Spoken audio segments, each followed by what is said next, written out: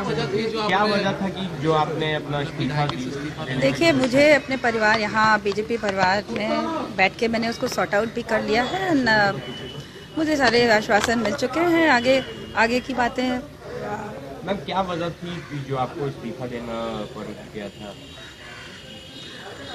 वो मेरा कुछ दिवस सम मैटर पर पार्टी किसी से शिकायत की या फिर कोई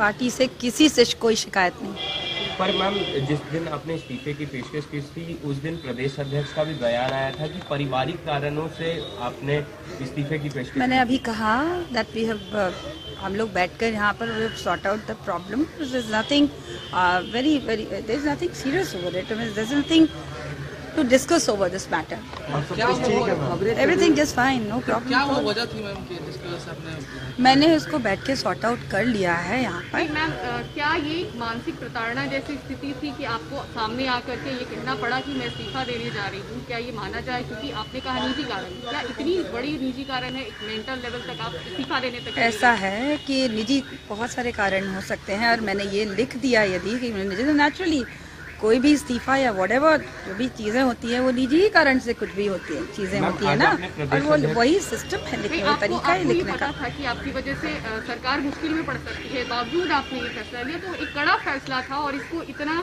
सामान्य ज़ाहिर तौर पर पार्टी ने भी नहीं लिया इसीलिए आपसे बात की और आपने अपना पक्ष रखा। अब आपको लगता है कि ये चीज़ें नहीं होंगी दोबारा अब फिर से नहीं सरकार को कोई प्रॉब्लम नहीं है। सरकार बिल्कुल अ, को आप, आपके हिसाब से ऐसा कुछ समझ में आ रहा है लेकिन सरकार को इस प्रकरण से कुछ न से कोई दिक्कत होती न उसके सेहत पे कोई असर पड़ता।